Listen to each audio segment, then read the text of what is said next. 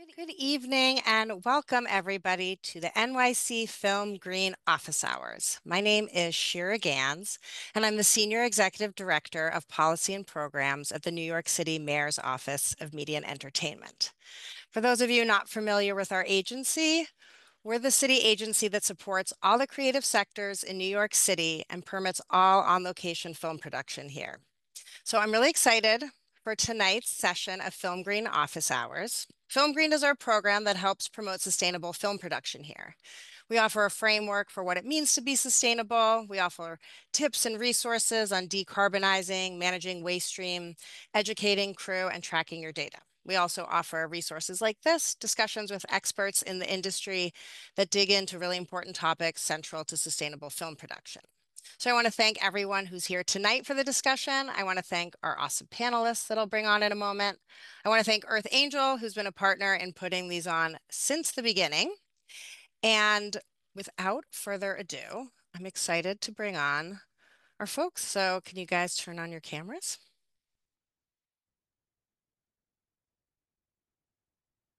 Okay, hi everyone. So tonight's office hours topic is an evening with the Sustainable Entertainment Alliance. And I have some esteemed members of the Alliance here. So I'm going to let you guys quickly introduce yourselves. Uh, Sam, why don't you kick it off? Yeah, hi. Uh, my name is Sam Read. I am the executive director of the Sustainable Entertainment Alliance. So I have the pleasure of working uh, with our members in the industry on, on all things sustainability. Shannon, why don't you introduce yourself next? Hi, uh, Shannon Bart. I work at Netflix. I'm on the sustainability team, and I lead our efforts on decarbonization across our global productions. And Audrey. Hi, Audrey Vinant-Tang. Um, I lead our sustainability strategy at NBC Universal. Um, so that's our pathway to carbon neutral by 2035 across our parks, offices, studios, and film and TV production. Great. And I will say, some of you on the flyer, Kat from um, Amazon MGM was supposed to join us, but unfortunately at the last moment she had a conflict. So it'll be us four talking tonight.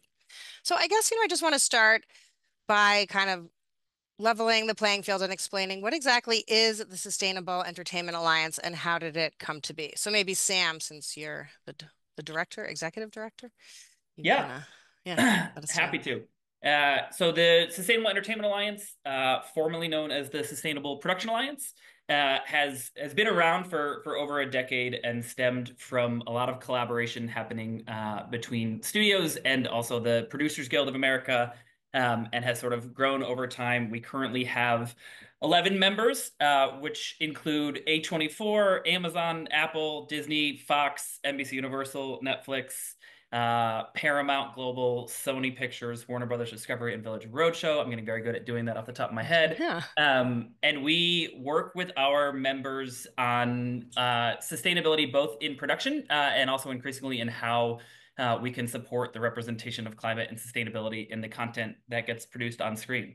Uh, so we work sort of with our members to align on on measurements and best practices uh, while also providing resources for use by our members and folks across the industry. Um, and I think you know started as as and continues to grow because our members see a lot of value in this collaboration uh, and, and, aligning on these things allows us to to push sustainability forward across the board uh, in an industry that um, is constantly changing and growing and adapting. Um, so that is sort of our our background. And I guess maybe Shannon and Audrey. So I think when I first, you know, was learning about SEA, it was a little bit um, counterintuitive to me that competitors in the market might be working so collaboratively on something that could involve cutting edge technology or different strategies. And so in a, we were talking before, you said this was in the pre-competitive phase, which I liked that idea. And so I was wondering if you guys could talk a little bit more about how your companies came to participate in, in SEA and how you see that as part of your role. I don't know. Audrey, why don't you go first? Sure, yes. So we've been um, long time uh, early members of, of the Sustainable Entertainment Alliance. Um, and in the world of sustainability, there's actually a lot of uh, these types of collaborations. Um, you, we see these also were members of the Clean Energy Buyers uh, Association. So Um, there's many different ways that our companies uh, collaborate on sustainability because it's something that needs industry-wide um, changes and, and availability of, of products and services and tools and um, the very sort of origins of, of SEA were around establishing best practices to make sure that um, you know, one studio wasn't asking something different as another studio, that we all kind of were, were speaking the same language, using the same carbon calculators. Um, and so that's uh, still our mission today. Great. Shannon, anything to add? Oh, very similar to Audrey. I, Netflix, um, we're involved with a lot of in a lot of different sustainability um, collaborations. It definitely, especially in the entertainment industry, is just so helpful to be working together pre-competitively because we all we all share the same crew, the same supplier um, base, the some, some creators even, and so really tackling this approach together is how we're all going to go further faster. And so how do you guys, I mean, well, one, do you have particular focus areas right now? And then uh, I was looking at some of your tools and reporting, so I have some insight into it, but could could you talk about what those focus areas are and then a little bit of how you guys arrive at that and the process of reaching consensus, if there's any kind of challenges in that capacity? Yeah, I can I can start that off. I, I, would say our we have sort of four main working groups that we collaborate on. Um, so one of those is focused on on clean energy uh, and engaging with sort of how we are decarbonizing uh, our productions. Uh, one working group focused on circularity and materials and sort of how we are both reducing waste uh, and increasing circularity across productions and, and uh, across the industry. Uh, we have a working group that's focused on, on, content and storytelling and sort of how we are connecting with audiences around uh, climate and sustainability. And then we have a, a fourth working group um, that's focused on sort of industry outreach and coordinating um, both with our members and with others in the industry to support. Um, and, and, I think in terms of our collective approach to this, I think of it in sort of three main buckets. One of those is is sort of standards and measurement. So we do a lot of work around aligning on how we are measuring our emissions and, and measuring those footprints. We put out a benchmarking report uh, a couple years ago, and we're going to be releasing a an updated version uh, in the months to come that sort of looks at the average uh, emissions benchmarks for different types of productions. So we do a lot of work to align on how we are calculating that and how we are are sort of sharing that out so that we can identify not just uh, how much emissions are coming out of this, but where more importantly where those emissions are coming from and what the highest sources are.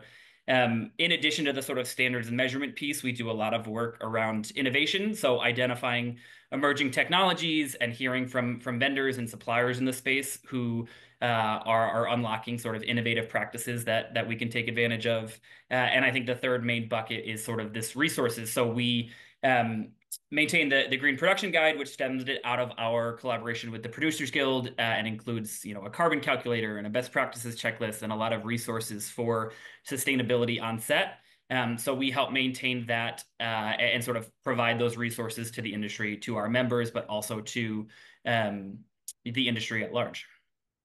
That was a lot of information. So, well, one question that occurred to me, I'm very impressed also for all of our viewers. Sam just got back from COP. He's on very little sleep. So we have I to mildly jet lagged. But, yes, um, commend him on all this information coming through jet lag. Um, so for all of you guys, is your remit like North America or what happens are is does it represent kind of global production? So can you clarify that just as we talk about the work you guys are doing? Um, sure. Uh, so I'm on the global sustainability team, Okay. and um, our climate target, which we'll, get into in a little bit, is is Okay. global. Um, and our productions at Netflix are global. Um, I my team directly supports the productions that Netflix directly produces, which tend to be um, more in the U.S., Canada, the U.K., and then some outbound productions around the world. But uh, my team also supports production management teams and Netflix teams globally and uh. support them with their local decarbonization strategies.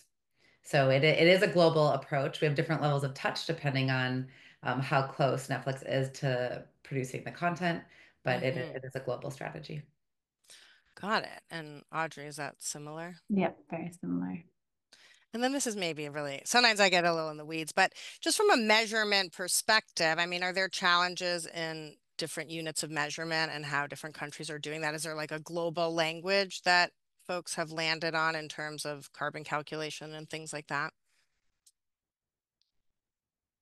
I can. I can start with that one. I would say one of that's one of the things that we are increasingly working on is, is sort of improving that alignment. Uh, obviously, there's different regulatory frameworks in different countries and in the EU and England and all that sort of stuff.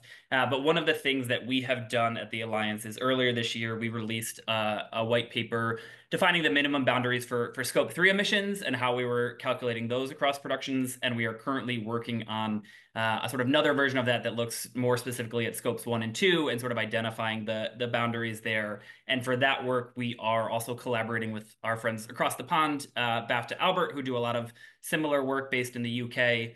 Um, so we are increasingly working to make sure that we can can align on that, uh, in particular for sort of on the production level, um, because those are very intertwined processes. So um, that is definitely some uh, a key focus of ours. Got it.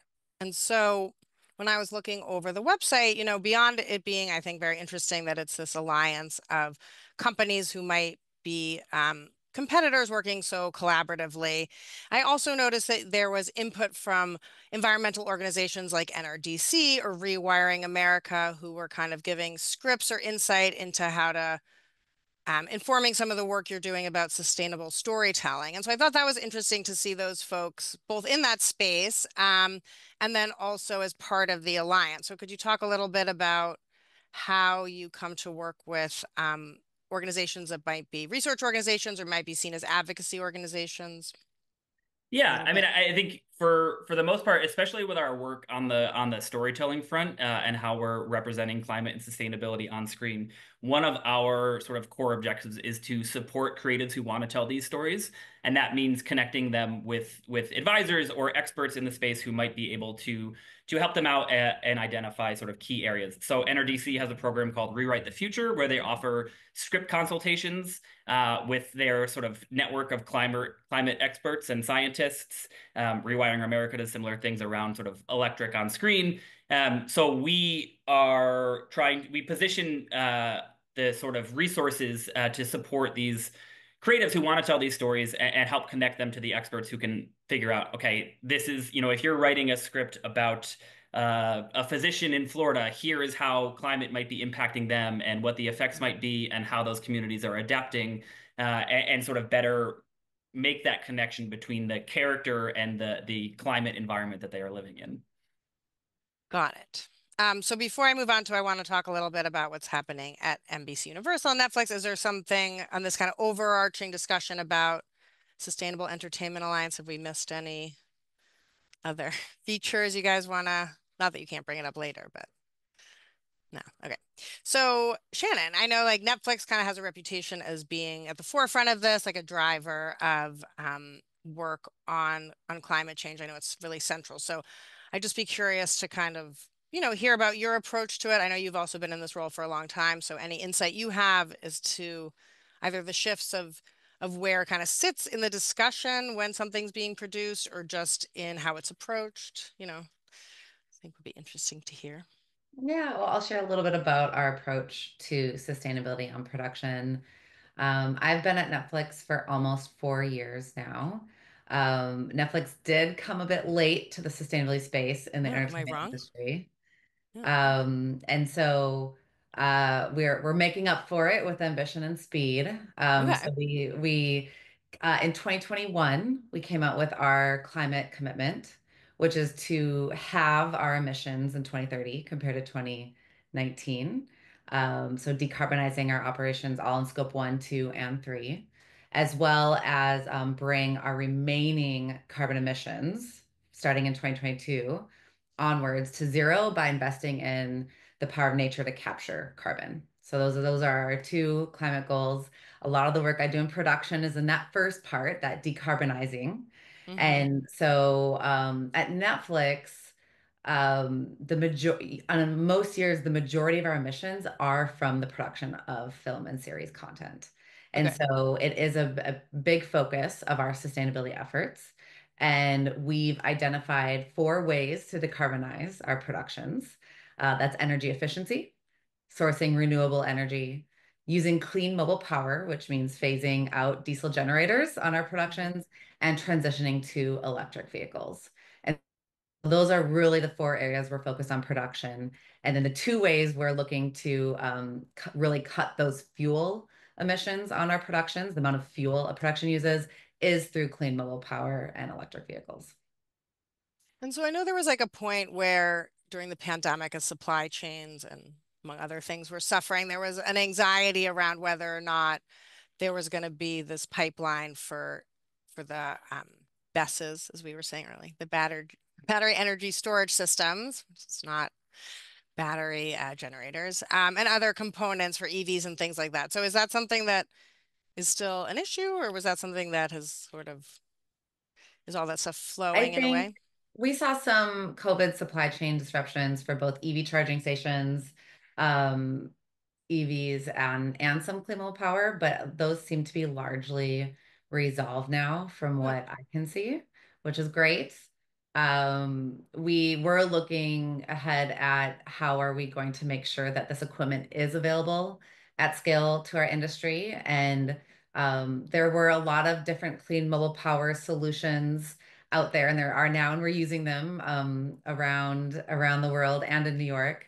Um, but there did not seem to be quite yet the larger power um, sources that will need to really transition away from diesel generators. So um, a couple years ago, Netflix, along with Disney, co-founded the Clean Mobile Power Initiative, which is um, in partnership with RMI and their tech accelerator Third Derivative, where they're really bringing in startups and helping to bring new clean technology to market um, made for our film industry to deliver us that 208 volt three phase power that our industry likes to use and need and and really get that um, deployed across our production. So i think we definitely felt that supply constraint shira and that's why we we were partnered with a tech, tech accelerator like Third Derivative um, but overall we are seeing this technology continuing to become available which is really exciting yeah that is cool and so then audrey would at NBC Universal, how would you describe kind of your focus area, or is it the same or a different approach to sustainability? Yeah, um, certainly very similar. Um, our program, I'll, I'll start first on the in front of the camera side, just to change it up a little bit. Um, so we first kind of think about the kind of inspiring stories, um, the kind of storytelling piece that, that we were touching on earlier. So that's um, really thinking about, you know, how can we uh, show climate solutions on screen? Um, you know, in New York, we have Al Roker, America's Weatherman, who um, does the Today Climate series, where he showcases specific things that are happening um, in New York or, or around the world. Um, and we also have the Universal Greener Light program, um, which is uh, integrating sustainability from script to screen. So thinking about sustainability early in the development process through script reviews, conversations with filmmakers, all the way through the physical production side of things, and then out um, all the way into distribution and marketing, um, thinking about public service announcements. How can we kind of uh, talk about uh, and inspire others to, to, to take action um, in their daily lives? Um, and so then behind the camera uh, is what I think we're focused on here during this conversation um, is really how do we um, empower our production teams to integrate sustainability practices um, on set. So we have the longstanding NBC Universal Sustainable Production Program, um, which is currently across about 100 film, uh, TV, and sports productions a year. Um, and we just uh, at the start of this year implemented uh, the sustainable production standards uh, to really move the needle on fuel emissions um, and material conversation, uh, conservation on set. Um, so that's requiring specific minimum metrics um, are achieved uh, in order to really make sure that we're seeing the outcomes that, that we want to see. So um, really kind of moving beyond individual pilots of clean technology and scaling things. So to what Shannon was kind of talking about and, you know, starting from a couple pilots to really making sure that we have, you know, 5, 10, 15 of these units on production. Um, so that's something that I'm really excited to see more and more of this investment um, in clean technology. Um, but you know, there's there's still um, a, a, long way to go in terms of some some things. There are definitely limitations to how far some vehicles can drive or the size of certain batteries. Um, so I think it's an exciting time uh, for more developments. For sure. Um, so one question I had, I know this is a big focus for a lot of um, the studios and content creators, is this idea of sustainable storytelling and to, you know, the previous conversation about NRDC and these other groups. And I know you guys are really um, data driven. So I was reading some of your, you know, benchmarking of what the emissions were looking at uh, a variety of, of shows and movies and things that were being produced. And so that's why you kind of focused in on fuel and decarbonization because you saw that was driving it. So in terms of the focus on sustainable storytelling, um, is there research or data that um, drives drives the storytelling? I mean, have you seen uh, instances where where these types of things were integrated into scripts and then through focus groups or, or whatever the data collection is, you saw a translation into shifts in behavior? Because I thought, yeah, be interesting if you guys could talk a little bit about that.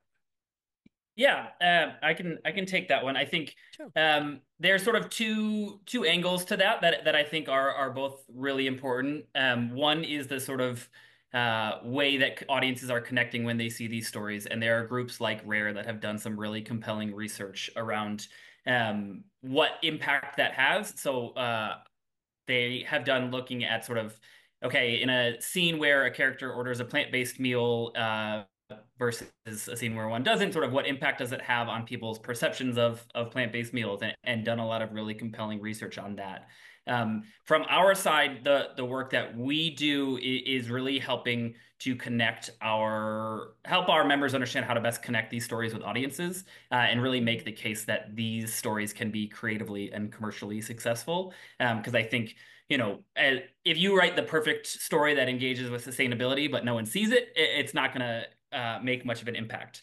Um, so that balance of, of, the creative and the commercial success of this. And so one thing that we have done is we just released a, a great video that is a sort of highlight reel of ways that stories of mainstream entertainment have engaged with this. Uh, it was voiced by uh, the one and only Meryl Streep, which is very exciting. Mm-hmm. So if you go to climateonscreen.org, um, you can watch that video there, and it sort of gives a, a good look at sort of how these are happening already in mainstream entertainment and it doesn't have to be this sort of doom and gloom climate change is happening and we're all doomed but sort of showing acts of resilience and how people and communities are engaging with this and and sort of making it really creatively compelling and we also on that website uh, on climateonscreen.org have put together a, collection of, of resources and research and advisors like NRDC's Rewrite the Future or Good Energy that can support storytellers who are trying to bring these stories to life.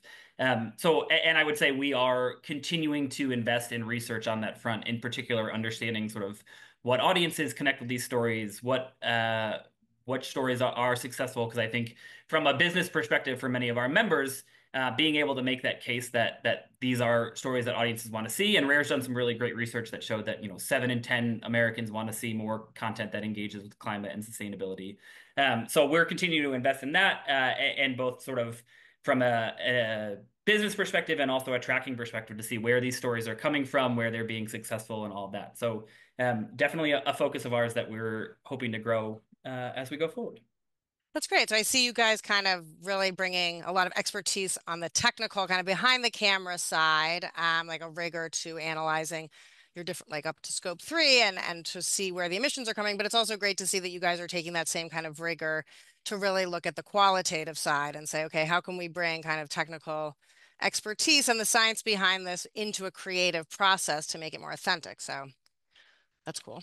Um, and so I guess, you know, in your guys' work for Shannon and Audrey, is there a specific project that you could um, share that you feel like exemplifies or, or that you're proud of that that integrated a lot of the stuff that you guys have been working on, like a good showcase for some of the work? It could be all of your shows, but I mean, is there one in particular, one project you guys want to highlight?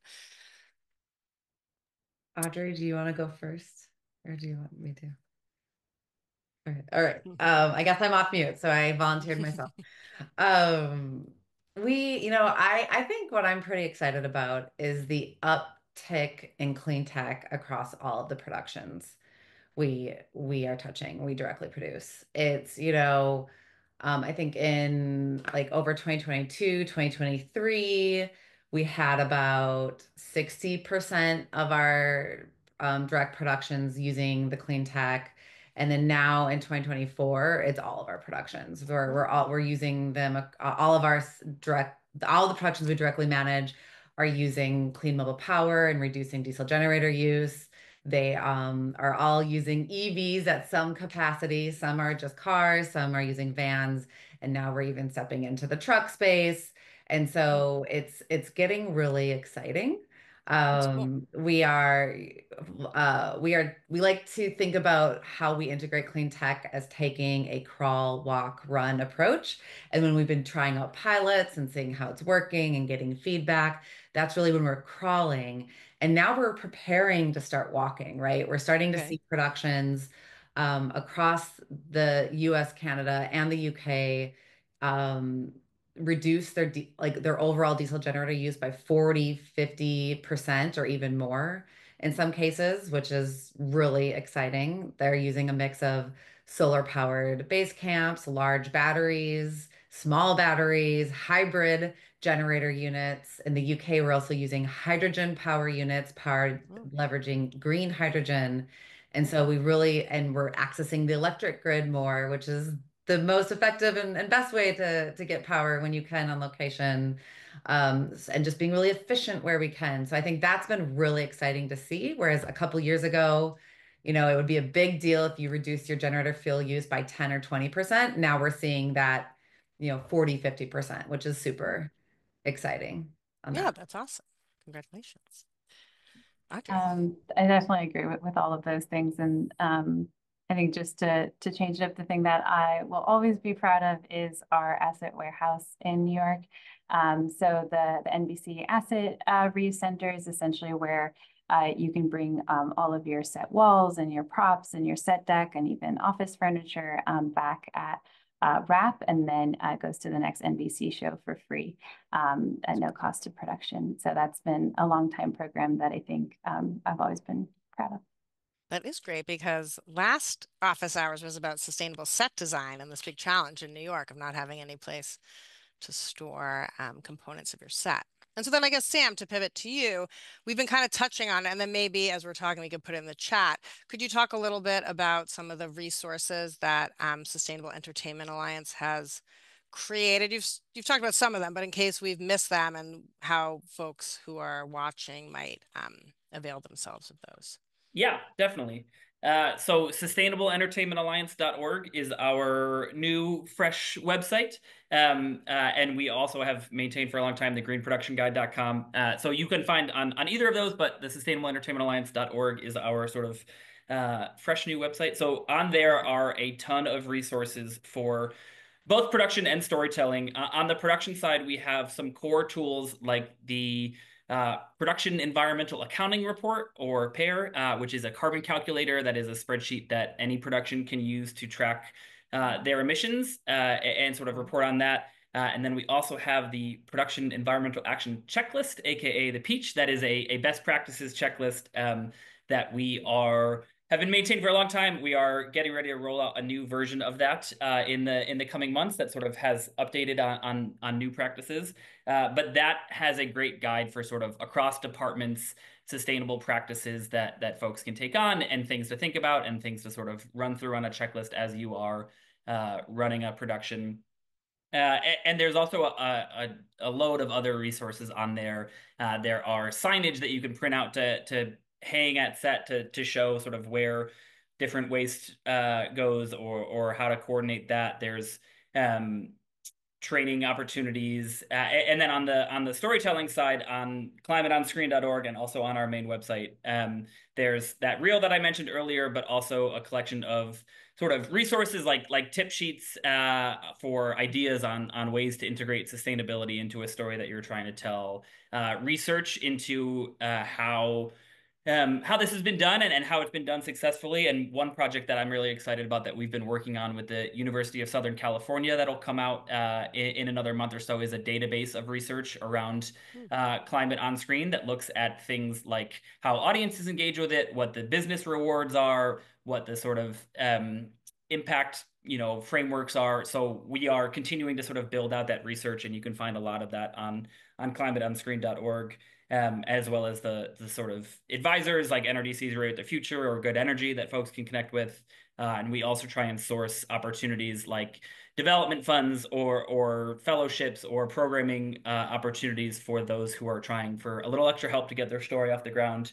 Um, so we really use climateonscreen.org as a, a resource hub uh, to support creatives and to support our members in, in bringing these stories to life.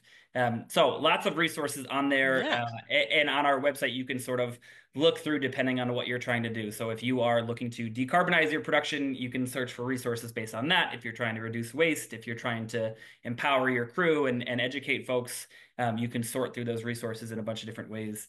Uh, so those are are available, and we will continue to um, keep adding to those. I think that's that's one of the things that uh, I'm really excited about in the sort of days to and months and years to come is, continuing to work with our members and across the industry and increasingly hopefully working with the unions and the guilds to identify what are training opportunities what are new resources we can create so uh, we definitely encourage folks to, to get in touch um, as we continue to build those out that's great. So it's like you guys are not only creating resources that you share amongst yourselves to improve kind of the business case, um, but you're also sharing with the larger creative community. So that's great. Um, so you all either work for or represent organizations that are filming all over the world. We, I'm from the mayor's office in New York City. So I want to talk a little bit about um, New York, which is a unique filming environment, I know. And so I guess if you guys could talk a little bit about what are some of the specific challenges um, that you face, say, filming in a place like New York? I mean, obviously, there's a lot of benefits, right? We have amazing crew here. We have like the most iconic skylines. It's the best place ever. Um, but I know it's also, you know, it's like New York's ethos is sort of like the if you can make it here, you can make it anywhere. So it's sort of like baked in that things are hard.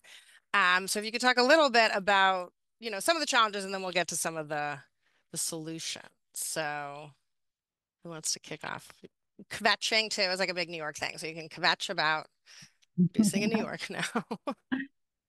um, well, I'll I'll first start with something amazing that's happened in the last year. Love it. the renewable diesel availability yes. um, that I know a lot of amazing people probably here on this call um, and through the mayor's office worked on uh, with the Producers Guild and um, the and a, a, lot of yeah I can't list all the people, but um, I think that has been really helpful for productions that are right next to that station, but having more of that in more stations um, would definitely be um, helpful so people aren't having to crisscross to, to go to that specific station to refill with renewable diesel. Um, so I think it's- There is it's a station just, in the Bronx that just got it. Yes, I, I heard, yes. um, and uh, and and I think um, in in general, I think that's probably the the trend that I'm seeing is just there's a lot of amazing things happening. How can we have more? How can we have it at scale um, available um, throughout the city? Um, so you know we're seeing those small uh, battery units and become kind of standard in uh, grip and electric kits, um, which I think is is really great to see. Um, and uh, you know we're seeing uh, electric battery trailers and solar uh, battery trailers that can run um, all day without being plugged in. But, um, you know, we're only seeing them in certain types of trailers. So how can we see them in all types of, you know, not just uh, single room trailers, for example, but um, in, in others that we use. Um, so probably it's, I think that would be the, the pattern of just more, more, and more. And look, you can see you're based in LA because I asked you to complain about New York. I know, just like I really positive. I actually, yeah, really sad. nice. I know you're based in LA too, but do you want to take a stab at complaining? You, you want me to take a stab at complaining? Yeah, I mean, you, don't, you could also be super okay. positive, which is fine. I don't want to keep you um, from positive. You're so funny. Uh, well, okay. So I, first of all, I would like to kind of just give this tie back to SEA and how important it is that we work together because when new things come to the market, like renewable diesel, it allows us to once kind of voice the demand for it together, but then also share it among our productions very quickly. Um, I know there was a lot of people that worked on that, um, including your office, Shira, and and the and the PGA, which was fantastic. But really, just sharing those things is great. I agree with Audrey. Like small batteries is becoming really normal in New York City, which is super in in terms of having it like almost fully power set in a lot of locations. I know it's been really helpful in Central Park and on the subway and other places that it's really difficult to bring in generators. So you have those kind of production agility benefits to that.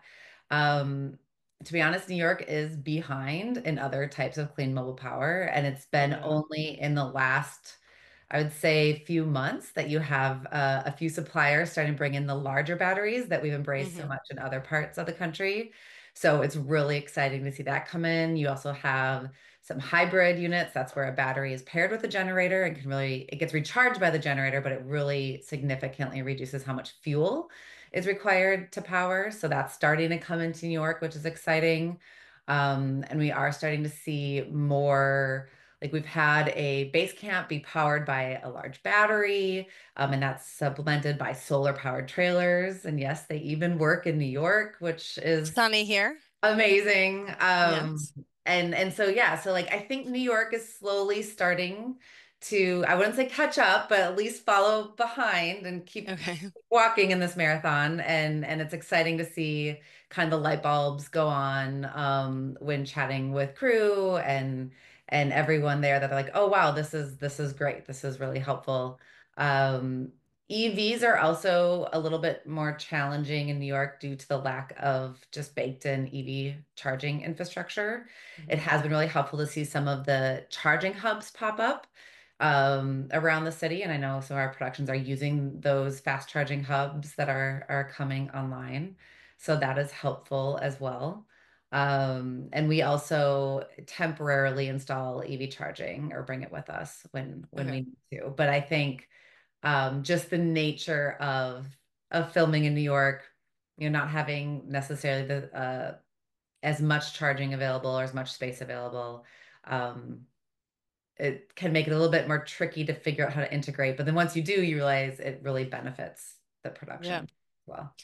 So I guess I mean the the renewable diesel example was really interesting because I think you know sometimes a challenge is uh, like silos or lack of dialogue. So because someone flagged that for me, I was able to kind of bring in our office and another city agency to be at the table, not necessarily to take any um, you know concrete action, but just to have us be there as part of the discussion. I think facilitated um, kind of ease concerns about introducing uh, renewable diesel before there was this um, market set up as we figure out our clean fuel tax situation, um, credit situation rather. So I think like, you know, we're all on this call. So if you guys had your wish list and thinking about, well, what are things that like municipal governments could do um, to help facilitate good actors like yourselves who are trying to film more sustainably like have you seen either things you, you think new york could be doing that are feasible or things that you've seen other cities do that aren't? I mean obviously new york's a little bit unique. Like i saw someone in the chat talk about how in vancouver and um, toronto they've created these big kiosks which are great but new york city streets especially since the pandemic with our outdoor dining programs really can't accommodate you know, that level of street furniture between our kind of iconic kiosks where you can get, you know, candy or magazines and then Citi Bike and then just like everything eh, there's it's just not really viable. So um all to say, are there examples that you could share that you've seen from other cities or that you think that New York could be doing that would be helpful to the cause?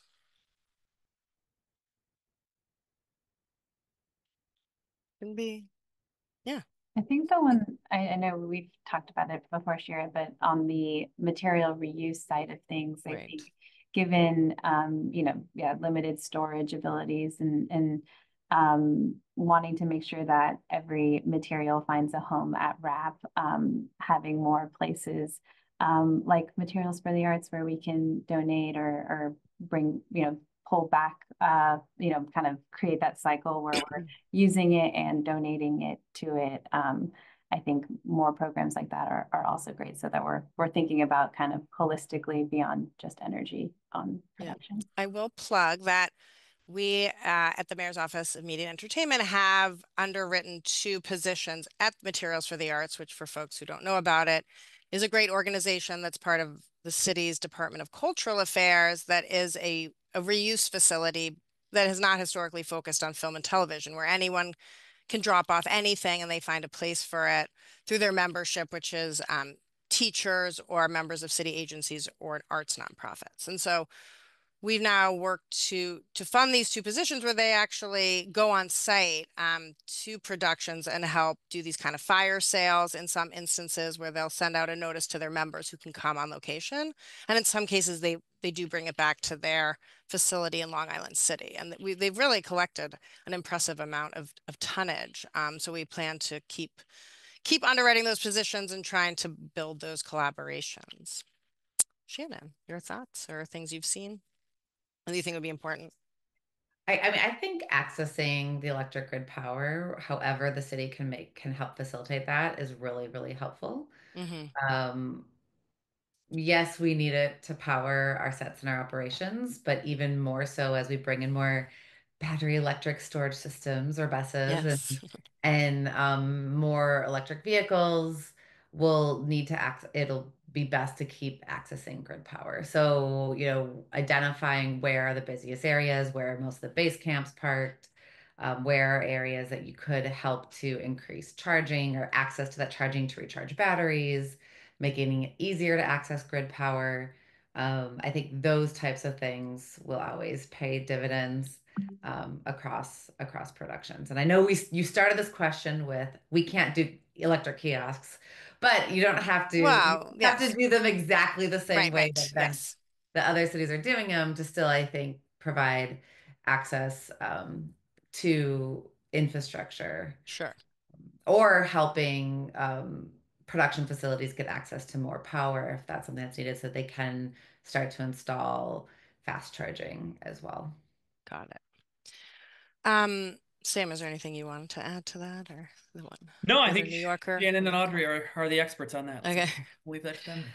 So I guess moving on a little bit to big picture before we get to some of the questions from our audience. So, you know, looking ahead, um, this seems like a rapidly developing field. Are there kind of specific innovations that you guys are most excited about? I mean, Shannon, you talked about kind of carbon capture. So there was another so a lot of my time is also spent on music industry work. And there was a company that um, I met who was helping to for for large scale live events. And what they were doing was researching just very specific types of carbon capture to kind of try to mitigate some of the issues around um, carbon credits and do really know if your offset did anything. Um, and so they were looking at like kelp um, farming and one other specific kind of carbon sequestration. And so all of the all of the money that any of all, all the carbon offsets just went to these two projects because they had kind of determined that these were in their estimation like the one of the most effective ways to, to capture carbon. So I wonder like, you know, are you seeing any kind of technologies like that as you invest in in carbon capture? It could be anything else. That just captured my imagination when I heard about it. Well, I'm not our team's expert in okay, carbon comp projects, but I can say okay. that um, if you want to see the projects that we're investing in, they are all listed in our ESG report, um, which is on our website. Um, you can go to sustainability.netflix.com to find that report. Um, we are we we do do a lot of vetting and invest in the part of nature to capture carbon. So there are a lot of nature-based projects as well as the destruction of potent gases such as methane. So none okay. of our projects are also destroying methane, which is really important for action in the near term. So um, and and we we do have high faith in our, our projects. We they're they're heavily vetted. Um, and we cool. we have blogs out there that talk about that whole process too that I, okay. I don't know well enough to repeat here. Yes. So I'll point you to the information that that's available. Um, but yeah, it's I think that we need to do everything. Like we need yeah. to, our emissions, we need to decarbonize as we've been discussing on this production. We need to reuse materials as as Audrey has been talking about so so beautifully. And we need to um and save our protect our nature that is doing a lot of this hard work for us and and helping to maintain a livable planet that we yes. all we all want to be on. So yes. I I I think that it's all important and um and I guess I'll leave it at that. Okay. Audrey, is there any specific thing that you've gotten you very excited? Not that it's better than other things, just that, you know, it's captured your interest. Um, see. Well, I would I would say uh an, another one that we haven't quite mentioned yet here is um we are deploying more and more, especially in New York, uh, reusable uh, container systems for catering and craft services, um, mm-hmm. which I think is a really um, neat opportunity that we have in New York, given that you the way we're kind of set up, we can easily kind of send it back to where um, the kind of headquarters of where the reusable dishware gets washed um, every night and it kind of comes back. Um. So that's something I think um, crews have been really excited to see and just sort of creates that culture of sustainability on set. So, you know, when you walk in, you kind of, you get your reusable dishware, you see all the three stream bins, you um, you know, hopefully don't hear a generator running. Everything is nice and quiet, and it, it's a, a good uh, work environment. Right. And so then I guess one other big picture question before we switch to the questions is, so you guys have been doing this for over a decade, which means you've spanned um, three administrations. And so as a government person, I'm always interested in, you know, how your work shifts or doesn't shifts based on potential changes in regulatory priorities or structures. So could you talk a little bit about how like regulation drives your work or if it's more or the other factors like I've heard Shannon talk about it, it's just good for business and just, you know, kind of if folks would talk a little bit about about that. Yeah, I can I can take a first crack at that. I mean, I think, you know, obviously the various regulatory frameworks affect the way that that we our members report things and, and engage with the sort of metrics piece of it. But I think what's been really inspiring to me, uh, and I apologize in classic New York form, someone is really laying on the horn outside of my window. uh, so apologies if that comes through. Um, but I, I, think there's, uh, you know, the the the thing that has been inspiring to me about working with this coalition of of companies is that uh, there is a commitment to this that is not stemming from oh we have to report on it so we have to do this it's yeah. because there's a real belief that this is going to be better for businesses and also better for our planet and i think that that is going to be consistent and that is sort of where our focus is is how are we using sustainable practices to to improve you know the business environment and improve our planet uh, and i think the the sort of use of clean mobile power in place of diesel generators is a great example of that because obviously there are emissions benefits to that, right? Where you're not pumping out diesel uh, emissions, but there are also, you know, benefits to the health uh, of people on set not breathing those fumes. There are benefits to the sound on set and and being able to set those batteries up closer to base camp uh, and not having to lay that cable really far away. There right. are benefits, you know, diesel joiners are not the most efficient use of power. So it's it is both there is the sort of emissions component to it that we are reducing the emissions by pivoting from that but there are real benefits to both the the businesses but also the the crew on set and the people working in this industry um, that are another motivation for doing this. So that those motivations are the same no matter what the sort of government apparatus looks like around it. That is heartening to hear that we are somewhat irrelevant whether we change. Um, so I'm going to shift to some of the questions from the audience. We have one from Anu, who is actually a guest in our last one. So he said, what metrics or resources do you have for set construction and design? Is that something you guys have either at, can I say SEA or do you guys prefer? Is that an acronym you're using or no? Yeah.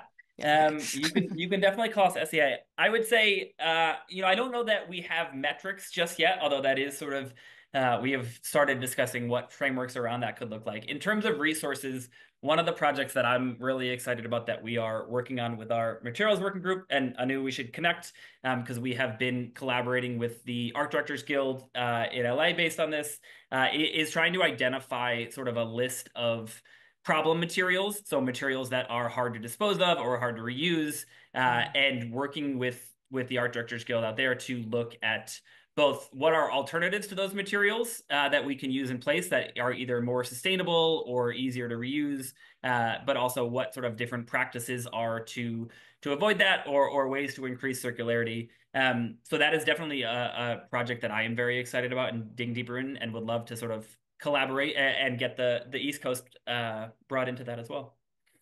So here's another question, kind of similar, where someone who works in an art department and film and TV in New York City has said that they've seen kind of coming out of COVID, but still this increase um, in ordering online shipped packages. So they were wondering if anybody had any strategies you've seen about how to decrease, um, you know, the footprint or that practice.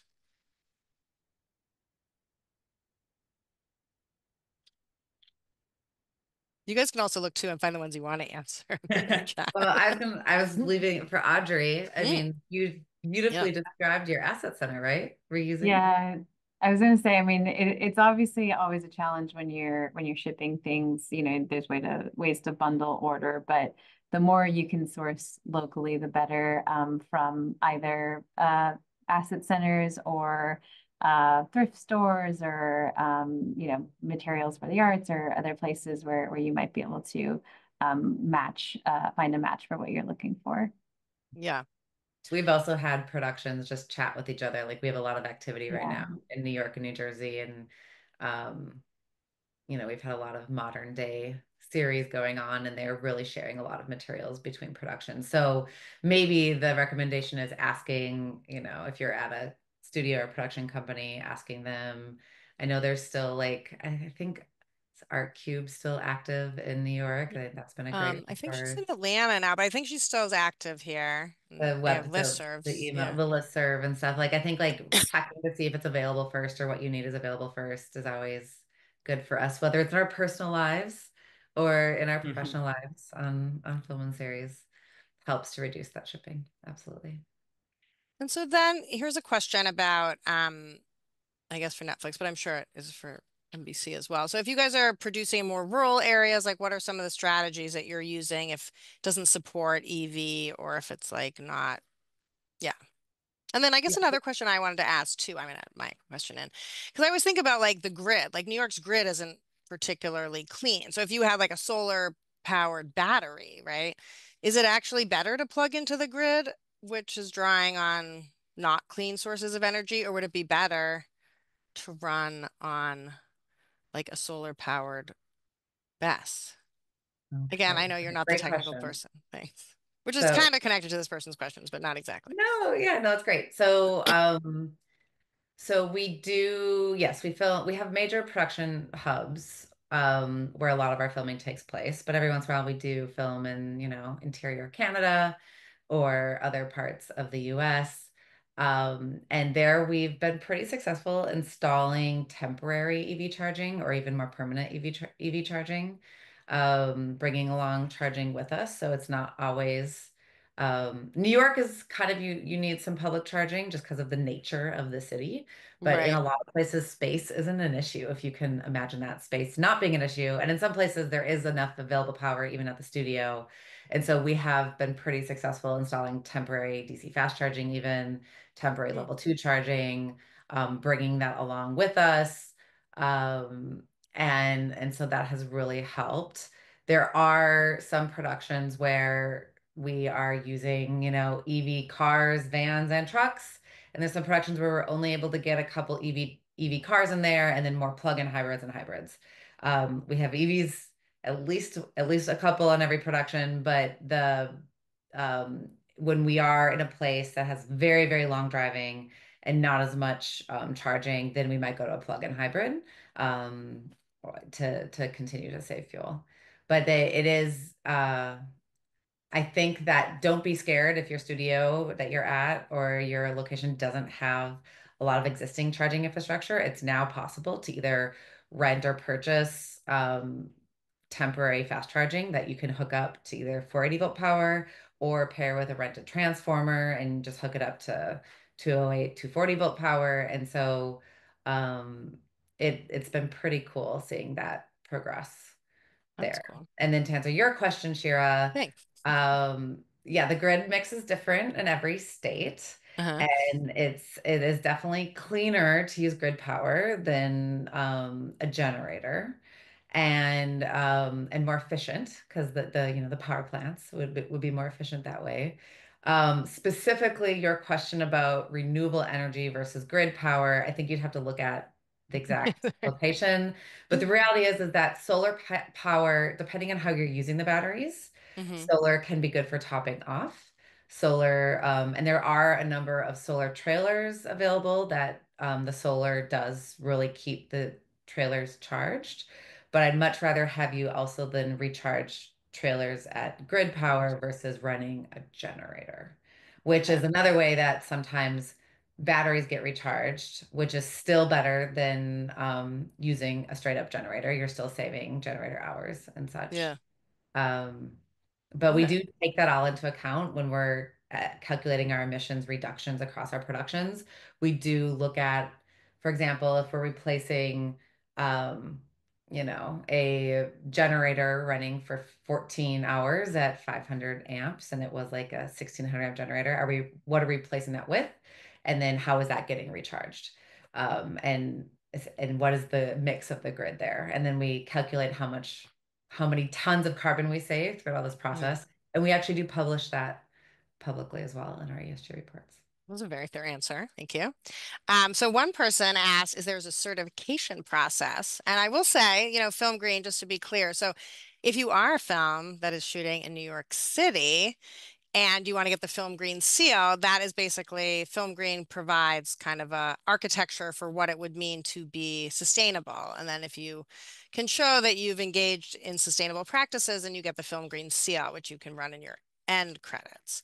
Beyond that, I don't know. I mean, there's EMA, but I don't know if there's like um the way in some other industries, like a third party kind of gold standard that you can bring on like Earth Angel that I mentioned earlier, you know, who's been a partner with us, they provide eco production um, services and then they'll give you a report and things like that. But I don't know, like, do you guys know, is there, you know, like a third party certification? Yeah, I mean, uh, that's sort of, we use the the PEACH our best practices checklist as a guide for sort of best practices around sustainability. So i think and that is you know the PEACH is what the environmental media association uses to to award their green seals and gold seals. So i, I don't know that it's a specific certification process because that requires some real sort of auditing and, and verification. Um, but we certainly have a sense of what the best practices are, and following those best practices is going to make for a a much more sustainable production. So the sort of an official seal that says this is certified as a green production requires lots of of auditing and, and third party verification. Um, but being able to understand the best practices and implement them and programs like film green that sort of reward those practices are really important towards towards lifting this up sort of across the industry Great. So I guess on that, what someone asked, um, how are you engaging and educating production teams and talent to prioritize and incorporate sustainability in their daily operations? So. Go ahead, Audrey. Uh, yeah, so we we do uh, at on NBCU Productions um, have uh, basically all crew sustainability training sessions um, early on, um, either kind of in the last week of prep or first week of production. Um, so this year we were just counting the numbers. We I think we've had over 300 uh, crew members take that training um, and 30 cast members take that training. So we'll do like smaller ones for cast members directly um, who want to learn more about sustainability. Um, and we just kind of talk through both what sustainability is, why it's important to production, um, and then we specifically have heads of department present on what their sustainability plans are for the production so people can kind of engage uh, in what's going to happen over the next coming weeks. Um, and so we found that that's been um, really impactful for people to kind of raise their hand and say, I want to learn more about this. How can I help out? Um, and hopefully leave um, with, with a little bit more information than they came. Cool. So a lot of people are asking um, kind of regulatory, but incentive questions like, are there obviously there's a huge market for film tax credits um, where states are, you know, competing with one another and localities across the globe. Um, so are you seeing, I know New York has not done this. Um, have you guys seen places where you get either film tax credits that are tied to sustainability metrics or are there other sustainability um, incentives that you could that you guys are leveraging to reduce, you know, your tax burden? Without getting too in the weeds. Sam, do you want to take it? Do you want me to take that? Uh, if you've got one off the top of your head, I was going to mention New Zealand, but uh... yeah. Um, well, Austria has a five percent uplift to their tax okay. credit um, for meeting certain sustainability criteria. Germany requires certain sustainability criteria in order to get their local funding. Mm. Um, and there's various versions of this kind of popping up in just a handful of countries, really. Um, some countries, I think Norway has a um, one of the a one way to get points is by submitting your sustainability plan. Hmm. Um, so there's there's different ways that sustainability is integrated into um, film tax credits. So this is a more technical question, but I know you guys are delving into scope three, and I don't. This isn't necessarily scope three, but how much you take into account the end life of electric generators and similar electric equipment, like lithium recycling facilities? Like, I mean, I'm sure it's in that dynamic proposal, but if some of these things are, assuming the implication is they're kind of toxic to dispose of, like so the IRA has really generated a lot of a big market for recycling batteries. Would you just define that? Because we get to oh yeah, the Inflation Reduction Act, um, the large piece of legislation that uh, was passed a few years ago um, by Biden and um, and really had a huge amounts of investments in um, increasing US based manufacturing, um, availability of equipment and incentives and such. And one of the ways to qualify for that is to make sure that your batteries are sourced from a certain way or made of recycled material. And it's really spurred a lot of new battery recycling plants mm. across across even North America. So um, cool. the definitely there's a number of life cycle studies out there as well that even like electric vehicles are still better than gas vehicles. Okay. Uh, driving, I can't remember the number of miles right now. I think it depends on how big the battery is on the EV yeah. to get to that, but it's it's definitely within the early few years of of yeah, typical use of an EV. Like 15, you only drive 15,000 miles for it to be better right? Like and um and your electric car is getting cleaner because the electric grid keeps getting cleaner right. and will continue to get cleaner um uh because that's the market the way the market indicators are going.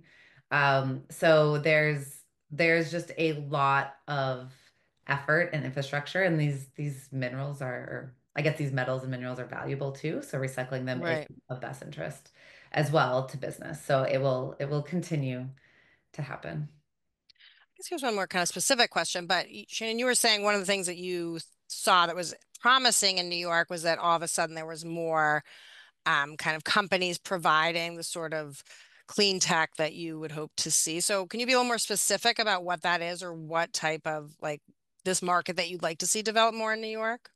Yeah. Um, so so we'd love to see more EVs in general. Um, but that has like to rent to to rent. Well, the the availability of EV cars actually hasn't really been an issue. There's a number of companies that are really coming up with with those vehicles, which is great. Um, it'll be great as vans and trucks become more available to get those as well. But mm-hmm. on the clean mobile power side, I think there are, I could probably count on one hand the number of large batteries available in mm-hmm. New York. Okay and our probably at one time our productions had them all. Um and so really just you know if you are interested in this and you haven't used them yet like check them out. Um and and they really do help your production provide clean and silent power you know less cabling less fumes less noise. And um they are more common um in places like Vancouver, and now we're using them a lot in LA and Albuquerque and even Atlanta. We're using a number of batteries, but um, now they're now they're finally coming to New York, which is very exciting.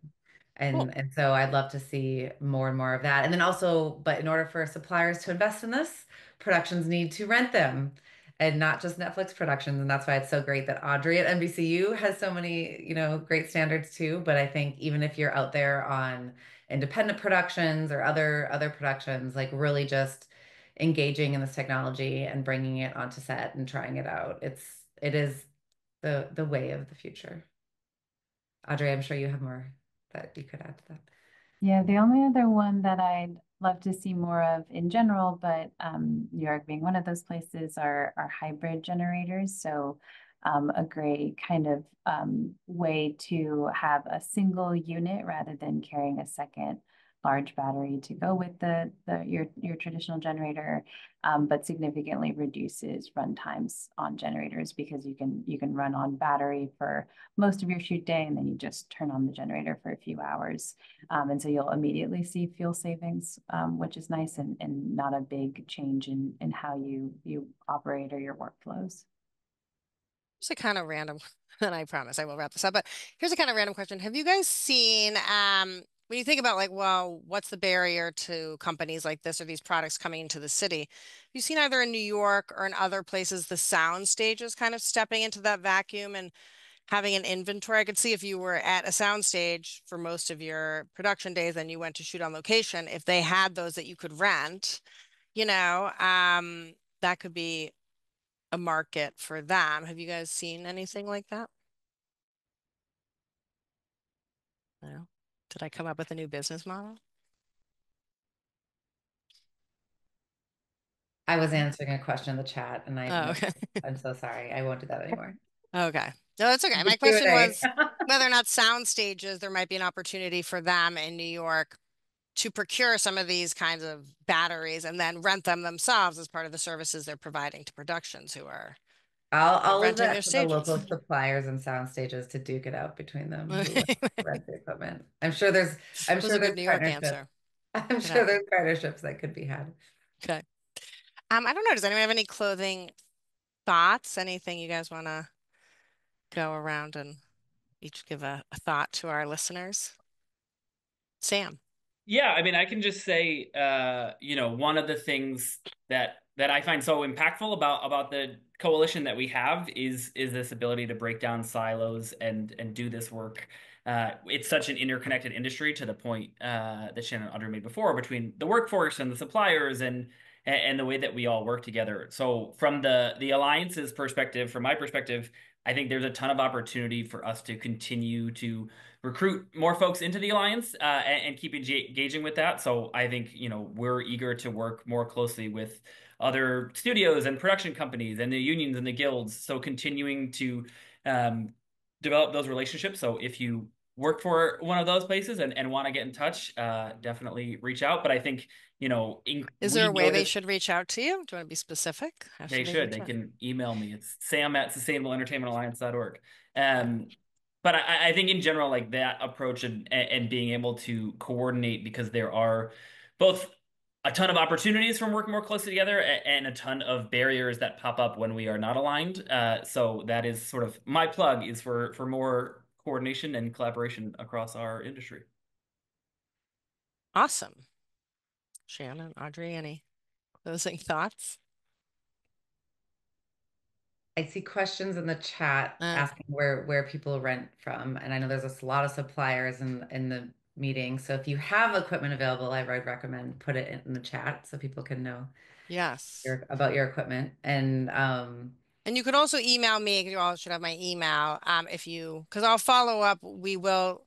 Th this is being recorded, so we'll upload it to the website. But I can also send out, you know, like a I think I can send out a transcript of the chat because there's a lot of resources folks have been flagging, and then also um, answers to questions. And if people want me to, if there are suppliers on here who want their information shared, I can do that too. I, guess my final thought is to it's a, to say it's okay to start small. Like if if it's if at least I know I've been hammering on about decarbonization, but if this is new to you and and new to your production operations, that's okay. You can start small. You can start with some small batteries, some hybrid generators. Um, it's okay to start in really safe places until you and your crew and your teams feel really comfortable with it. And and it does happen pretty quickly. Like once you kind of understand how it works and how to recharge it or how to use it, the benefits come very quickly. So I guess it would just be engaging your teams, engaging your suppliers. Um, this is definitely the way of the future. So and and the time to do it is now. So don't yeah. don't, don't be scared. Just jump in. Audrey. Yeah, definitely. And I'd say in that spirit of collaboration, um, there's there's just so many different ways to talk to others um, in your area or in your specialty um, you know, start uh, group texts. There's so many that uh, people on my team are, are members of different WhatsApp groups where people share great information. Um, Todd Moore on my team, who's our uh, sustainable production program manager, um, started in the art department. So he started just researching every material that was in the shop to, to make sure that he could understand the sustainability of it um, and, and sort of made his way into sustainability full time. And so that's just something where I think everyone has the power in the world that you inhabit to make a change, um, find the the solutions. I think the people who are going to solve these problems are, are the folks who are, are making those everyday decisions. So um, there's, like Shannon said, there's a lot of opportunity, and I think it's it's an exciting time to to get involved and and find those solutions. Yeah, so I guess my final thought is first of all, thank you so much, uh, Sam, Audrey, and Shannon. It's been a great discussion, and I know it's a lot of time to take to do it. So I really appreciate that. And then, you know, to the spirit of breaking down silos, anyone can always reach out to me. I think, you know, both in the industry and folks who are, um, you know, not at large companies, but I think definitely breaking down these silos, finding ways to collaborate. I think we're all trying to address the issues the same kinds of issues and we have different tools in our toolboxes. So the more we can kind of talk to each other, uh, the brighter the future looks. So I want to thank you guys again. We're going to be doing these every month. Um, I believe our next one is going to be on waste management, a personal favorite topic of mine. Uh, so tune in then. And thank you again. And I look forward to seeing you all guys at the next office hours. Take care. Thanks, all. Thank you. Bye. Bye. Bye.